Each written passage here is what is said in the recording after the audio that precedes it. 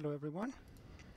All right, I see we have like four or five people over here only, so um, I guess this workshop is not as uh, challenging as the other ones. Um, let me start the recording locally, and it's gonna it's getting recorded over here too.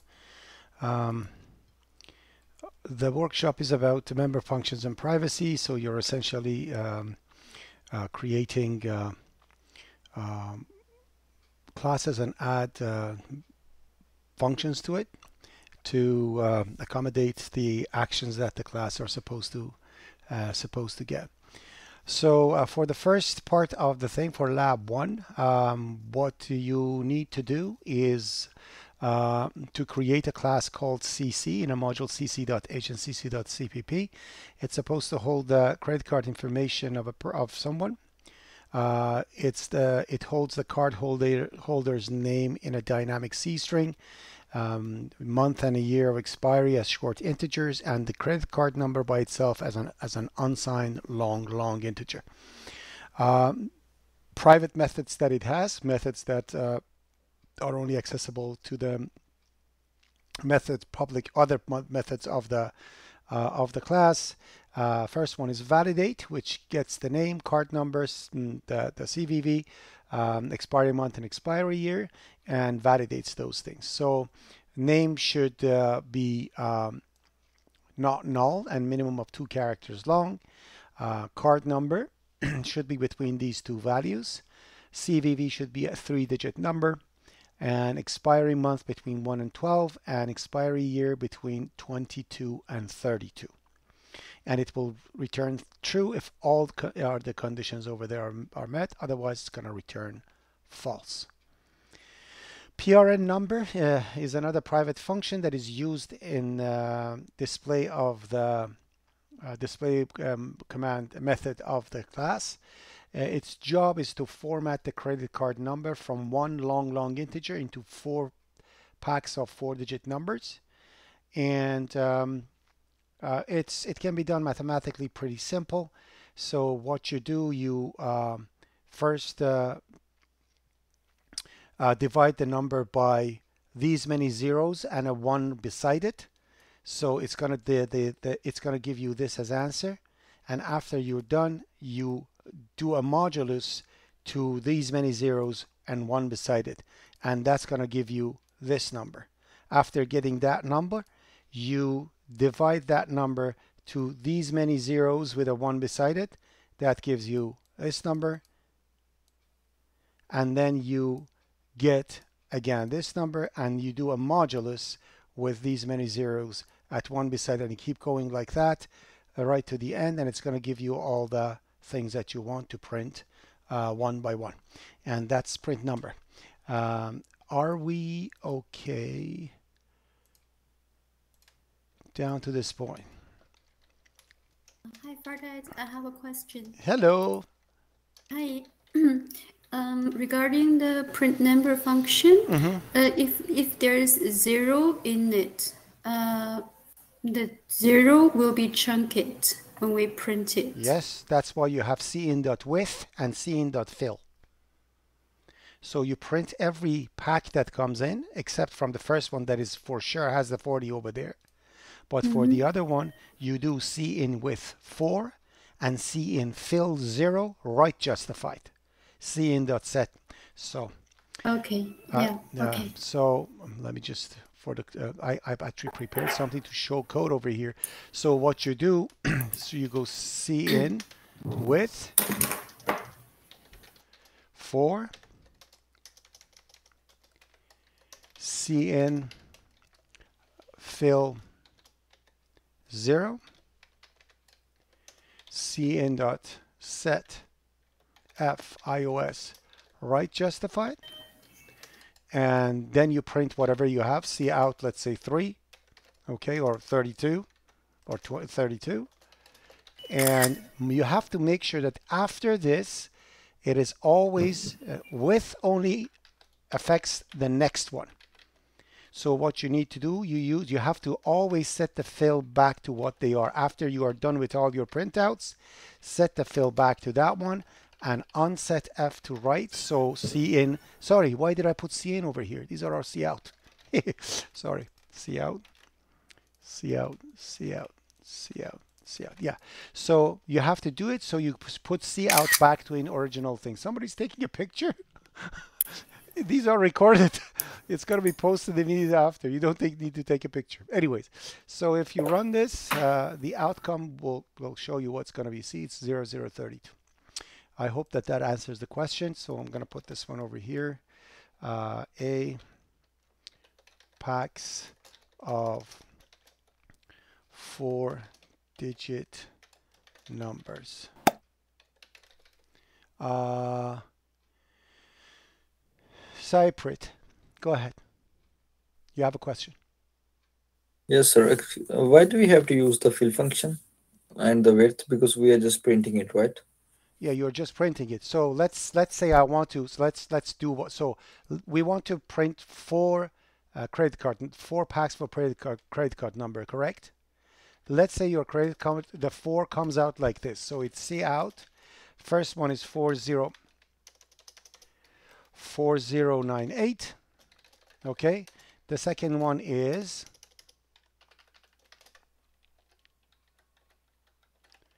the second one is 32. The other one is 102233 and this one is 3. Right? If you print these values and we don't have end L over here, we have a space, so this one's got to be a space. Uh, it's going to be space. Just a second. And this is going to be a space. And this is going to be... But sir, uh, aren't we going to print it just when after we do the validation? It means that it's a correct uh, credit card number. Th this number, right? this is the number that I'm breaking. So it's C out. 4098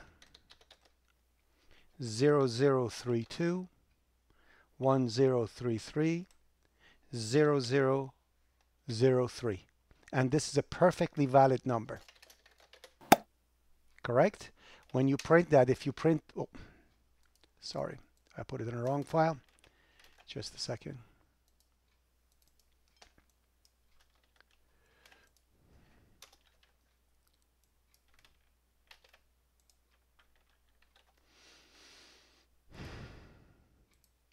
So if I print these, the first one is going to show as this, and printing them out will going to be this. This is going to get printed like 32. This is going to be printed at uh, 1033. This is going to get printed at 3. Got it? Yes, sir. All right.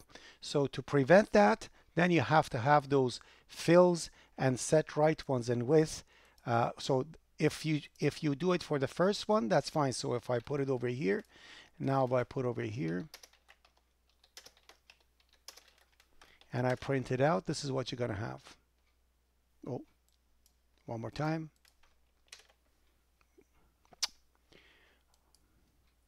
Oh, oh, I set the fill back. My apologies. This has to be at the end.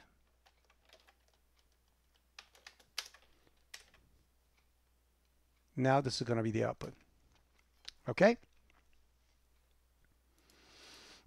so that's that. Uh, any other question? So I have a question. Sanchez, go ahead. Uh, so this function doesn't take any, uh, uh, doesn't return anything or take any parameters.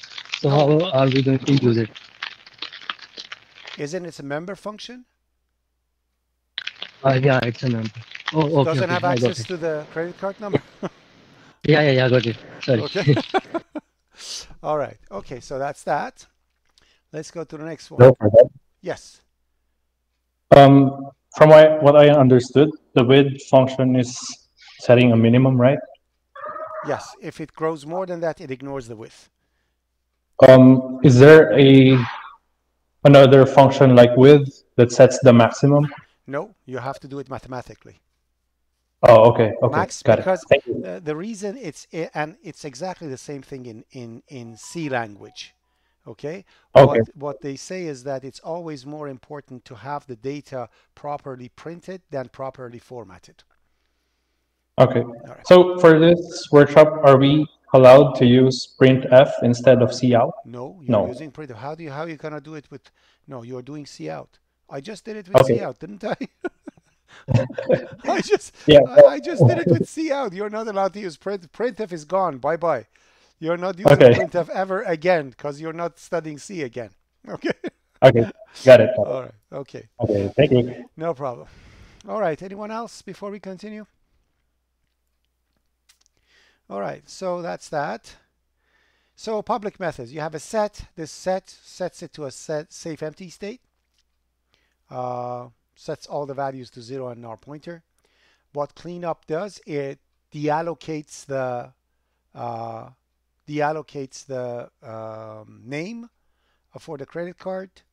Um, uh, the allocates go yada yada yada and calls the set to put everything back in its safe safe uh, uh, safe empty state. Is empty tells you if the name pointer attribute is null. Uh, if it is null, it returns true. If it's not, returns fault. Set first cleans up the object, and if the validate on these return true, then it's going to dynamically copy the name and set the attributes and everything. So it sets it only if everything's valid. Um, if any of the arguments uh, valid, nothing will be set. Okay, but you got to make sure that you clean up. So if somebody passes invalid information, your object is to go back to a safe empty state essentially. Read uh, uh, because we don't think we have any anybody more than 71 characters. Uh, what you're to do is uh, read the uh, the name up to 70 characters. Use getLine to do that, cin getLine, and uh, have the 71 character as a local variable inside read. So uh, your uh, read function will essentially um, first clean up, then it's going to uh, ask for the call holder's name and do a get line um, up to 70 characters and then keeps reading using cin. After everything is done, we hope that user enters everything properly, but at the end of that entry, we're going to check cin. If cin is valid, which means none of the uh, if none of the readings failed, then it's going to set it. So use the set function to set all the values. If it was not, if it failed, it just clears it. In any case, you have to ignore at the end and make sure ignore uh, flush the keyboard and uh, to return if read read successfully or not, you can simply return um, uh, is empty being not equal to null, uh, not equal to false. So if is empty returns false after this function, it means read was successful. Uh, otherwise, uh, it is not because first you clean up, then you start reading, then you set. So first it cleans up the the the credit card information. Then if everything is successful, it tries to see to set it. If it's not successful because it's cleaned up, it's in a safe empty state. And if it is successful, it tries to set it and it's set. If it's not valid information, set will set it to a safe empty state. So in any case, if read fails, uh, you're going to have uh, the object in a safe empty state and that's what uh, read returns. It, it's the opposite of is empty. And that's how read works. Any questions about the read? It is all good? Is it all Uh, good? Excuse me, 70 Professor? Is Okay, sure. Let's go one by one. okay? Okay. Uh, is 71 the length of the name? No, 70 is the length of the name. Okay. See, no, yeah. no, no. Wait, wait, wait, wait, wait, wait. 70 is not the length of the name. It's dynamic.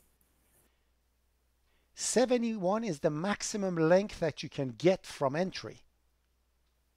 Okay, so um, so it should be 71 plus 1, right? No, it's 70. See, So, okay, yeah, so, I so, got it. so uh, the reason that is so, uh, let me just put it over there. So, um, assuming that the names are not longer than 70 characters, okay, okay. yeah. Yes, I got it. This function will attempt to read yada yada yada yada yada yada. So what happens is that get line should get 71 as an argument. Okay, Yes. that's how getLine works. Um, my sincere apologies. I'm gonna pause the um, pause the uh, recording, and I go. I have to go for a second um, um, and uh, and come back. Sorry, just give me two seconds. I'm gonna pause and I'll be back in like three to five minutes. My apologies. Let me, let me record. Let me record. Let me record. Okay, go ahead again. Go ahead. So in the last cin dot ignore uh, how many characters we have to flush and uh, which delim delimiting character we have to uh, use as the second argument. Um, uh, which which one you're talking about? The This one? the cin dot ignore. Uh, Uh, yeah. No. Uh, at, at the end, in any case, flush the keyboard using ignore. so it says. Uh, The last so second so line. so. You uh you uh Yeah. you're talking about this line, correct? Last second. No, no, no. The last second line. In any case, flush the Oh, keyboard Oh, using when you ignore. when in any case you I said in any case flush the keyboard whenever that is I don't know ignore 10,000 characters up to backslash n. That means you want to flush the keyboard. Flushing keyboard always end to backslash n, right? 10,000 Uh, and yeah. backslash n will do. I don't think anybody's going to enter more than Okay. 10,000 characters. But for here you're going to be Yeah. just ignoring one character because it it has a slash between them and it doesn't have to be slash if they put Yeah. over there something dash anything that is a delimiter for a number they can put i don't know 12a 23 and still it's okay because that a is going to get ignored between the two uh cyprit Professor, can you like give us an example of how can we validate uh, the C in? Because it's gonna throw an error, right? If some if like the cardholder name fails, so it's gonna throw an error. Like it's not gonna pro- uh, Uh, prompt the may i credit ask card may i ask if you are in my class or you are you in my class are you my student No, sir. I am Oh, in another Oh, okay. class. Uh, so if that's the case, I can redirect you to uh, uh, one of the sessions that we have. That's a long thing to go through, and it is. Yeah. So let me just tell you it quickly what happens. If cin fails in any situation, it cannot read. For example, get line exceeds 71 characters. For example, somebody wants to enter um, a number, instead put characters. Any unexpected thing happens to cin, it fails. When it fails, it goes into a fail mode and becomes deactivated, which means no other cin will ever do anything else until you clear its status. Got it that, that down to this point? Yes, sir. Okay, so anytime you want, and because of that, if you do a back-to-back read, you can stack all your C-ins back to back. And at the end, check the C-in. If C-in fails in the first one, it's going to skip the rest. It's not going to do anything. So one check at the end shows one of these things failed. Which one? You don't know. And we don't care. We just want to see if it failed or not. Okay? So that's how it works. Mm, sir. Thank you. Yep. Um, let me see.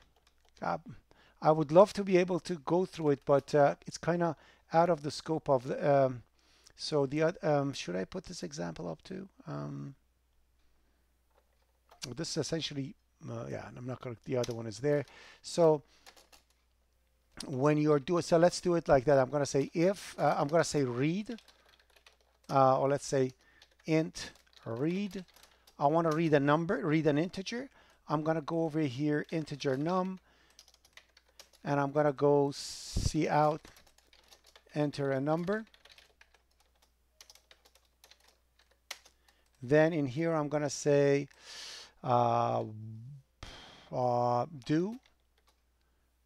And in here, I'm going to say while uh, how do I write it to be simple and straightforward? Uh, pa, pa, pa, uh, I'm going to say done is false.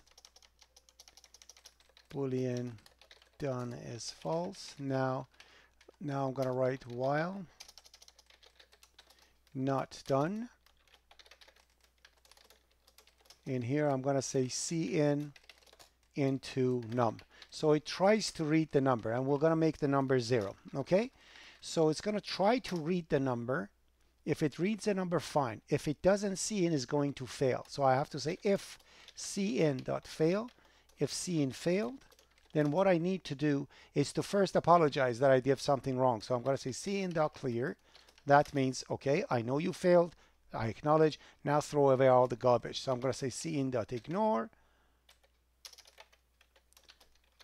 10,000 characters and backslash n. So that throws all the garbage that it could not read. And probably I'm going to say C out bad number, try again. Okay. So try again.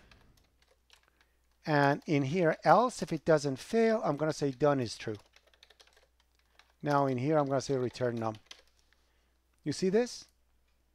So now in here, if I uh, write integer value. I can say value is set to read and see out you you entered value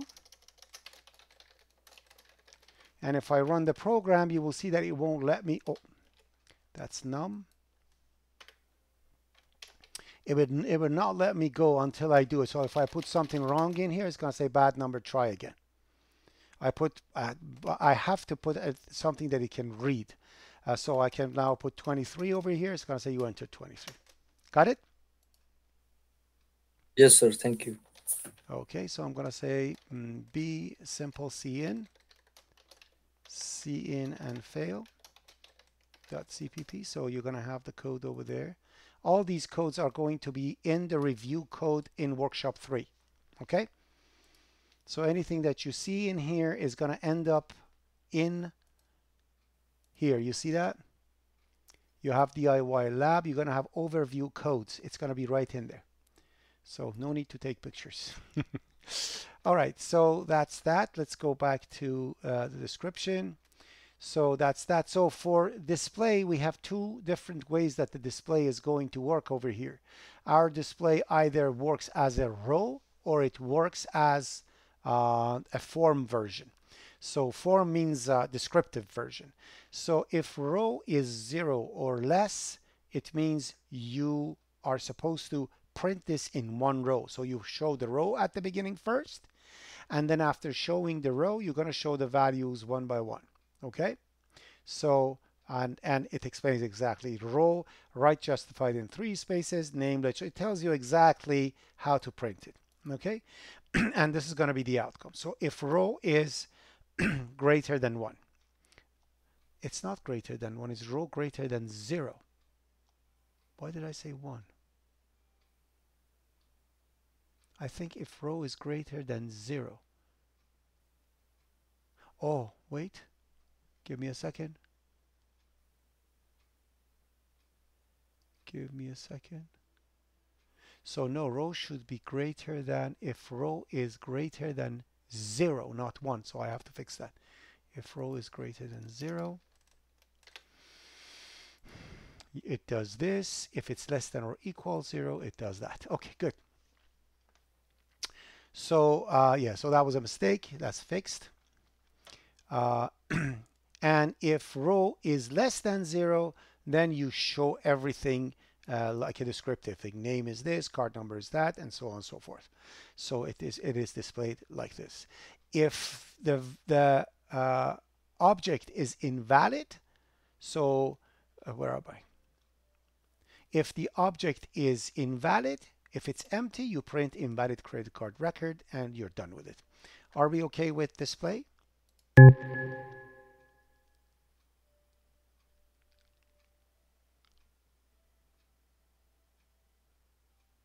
All right, and the rest are not replying. Therefore, I hope they're okay. All right. so that's the tester program. It runs, uh, it essentially uh, opens a file, reads some uh, information from a file, and uh, just gives it up to you. So, and the file I'm, I'm using uh, ifstream, ifstream over here, you don't need to know it. Just know that ifstream works exactly like istream, which means works exactly like cin, but instead of keyboard, it reads it from a file.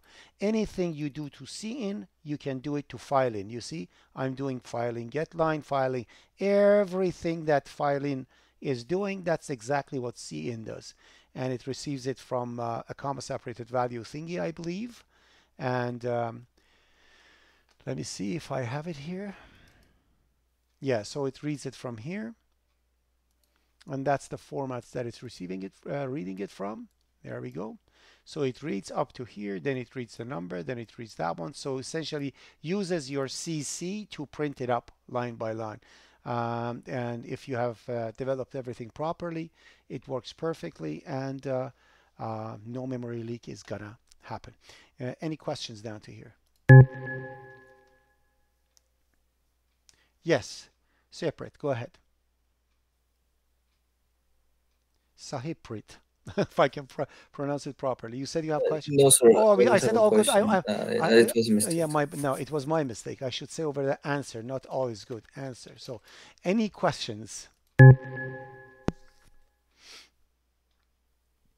Professor, can I ask one question? You can ask 50 questions. Go ahead, Marco. What's up?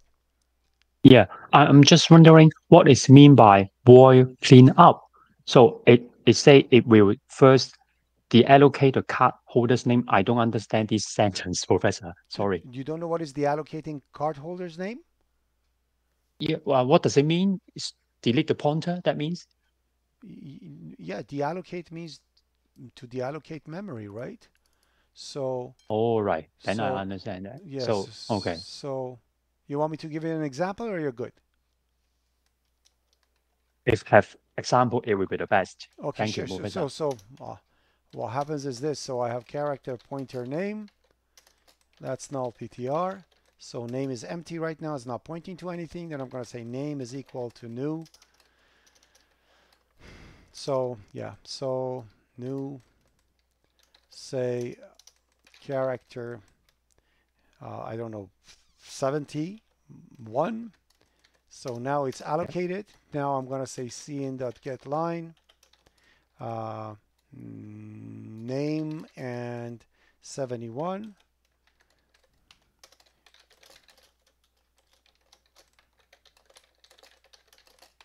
and now I'm gonna say over here uh, see out hello name. Of course in here I have to say if cin if cin did not fail Cin is polymorphic. If you just put it in an if statement, it returns if it's successful or not. So if cin, then hello name. Otherwise, I'm going to say, uh, see out your name is too long.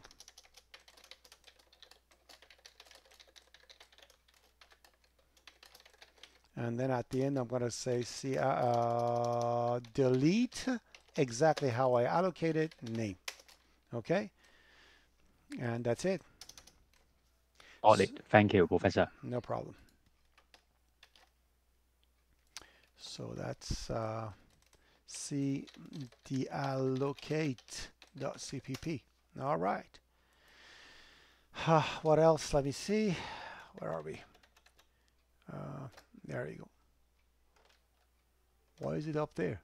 Come down. All right. So that's that one. Now uh, the DIY uh, is uh, the DIY is to create uh, a name tag uh, and, a tag list. So what happens is this. Where's the DIY? Yeah.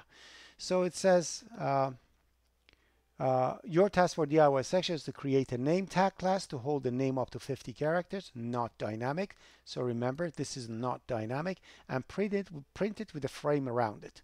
So essentially, you it holds the it it you give it a name, and it prints the frame around it. So first you see what is the length, You put that length one space before, one space after. You put a line and a star before and after, and another line underneath, and you're done. Okay? Or it can be printed with a bigger frame, uh, but it's gonna be left justified. So these are the things that you can. So uh, again, uh, your name tag should be able to hold a name, should be able to, um, and if nothing is mentioned, it should go around the name exactly as what it is. If the length is set to a specific thing more than that, then you have to print it, print it more than that. That's the class that you are creating. So it, uh, that's it. And um, let me see if there's any um, uh, yeah, the only thing that we ask you to do for name tag that we needed is set. The rest, you have to do it yourself. Whatever you want to put in it, any type of method you want to add to it to take care of it, it's your it's your choice and your your uh, design. Okay, so that's the name tag. Any questions about the name tag?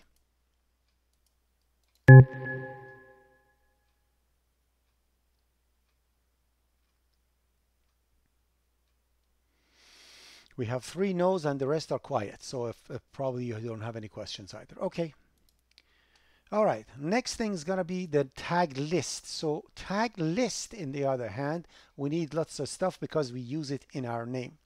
Tag list has a set that sets it to a name, uh, safe empty state when it's not set to anything. It has a num, okay, that first cleans up the class and then dynamically creates an array of num name tags. So when I set num to 50, it's going to create 50 name tags in itself dynamically. Okay. When you say add, okay, it adds the name tag to the next position in the uh, name tag array, dynamic name tag array. And it's going to keep track of how many, but it cannot go more than num. That's the number of tags that it can get. When you say print, it prints all the name tags. The catch is that when you are adding the name tag, you have to keep track of the length of the name and you have to set the length of all the name tags to the biggest name that comes in because you want all the name tags to be printed in a same line. So essentially when your program is running, your program's output should be as such as you see everything should be exactly the same size and this size should be the size of the biggest one over here. And these are all Simpsons characters. I don't know if anybody watches Simpsons but this is what it is. So uh, it just uh, sets everything to the to the length of the the names. And um, yeah print does that and clean up um, obviously deallocate the name tags and put the tag list back to a safe empty state. And this is the tester program for it. You these are the minimum functions that we need because these are the things that I have in my tester. Anything else you want to add to your name tag, uh, to, it, to your name list, uh, that's your choice and you can do it if you want. Uh, any questions about uh, the name tag? Sanchit, go ahead. It was a mistake, sir. No problem. All right. Uh, so that's it. That's uh, workshop three. And uh, yeah, um, this one is not a difficult one. This one is an easy one. Hopefully it's going to give you a break because the previous workshops apparently was very challenging. Uh, I have designed workshop three and four myself to make it easier. So hopefully uh, we're gonna um, you're gonna be okay with this one. Any questions before we continue? Before we leave? Any question one? Any question two? Any question three? All right, so what I'm going to do, I'm going to push the changes over here and I'm going to call that uh, this one version. Oh, I have to pull first, I believe. Shoot, because I think I changed something over there. Now I have to merge these two. All right, let me, I should have pulled it first. Let me just copy everything. Uh -huh. um, the changes. Uh, somebody told me what was the change. Uh, I'm, I'm, I'm gonna discard the changes and pull and then push for and then uh, edit it again. So lab three, lab 3 I'm gonna do a poll TortoiseGit pull.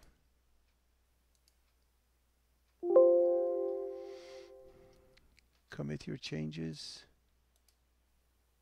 ah we can't do that. If I commit the changes I'm gonna get a conflict. So let me revert. I don't want to go through conflict fixing. I'm gonna go TortoiseGit revert. And now pull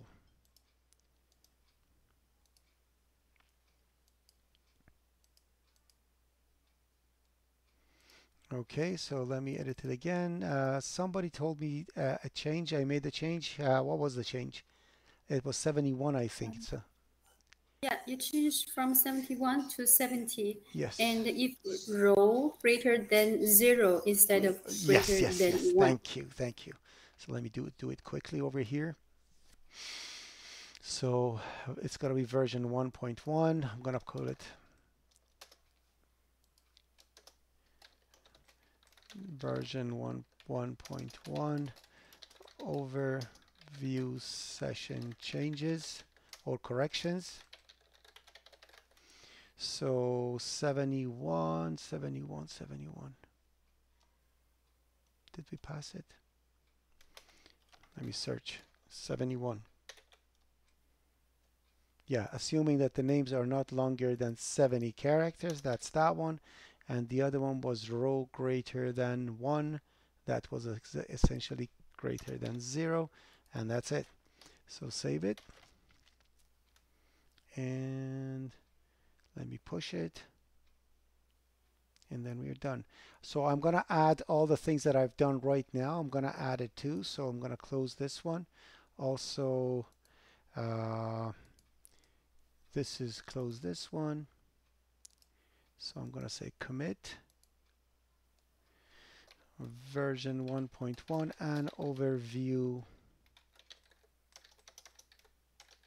session codes. And let's select everything.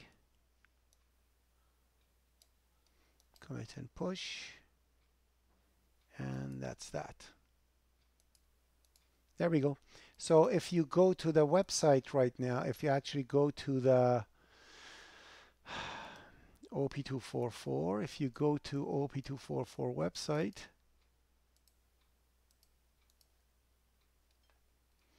you can go to workshops, workshop 3, you will see that the overview codes are there and the examples are there for you to, to see.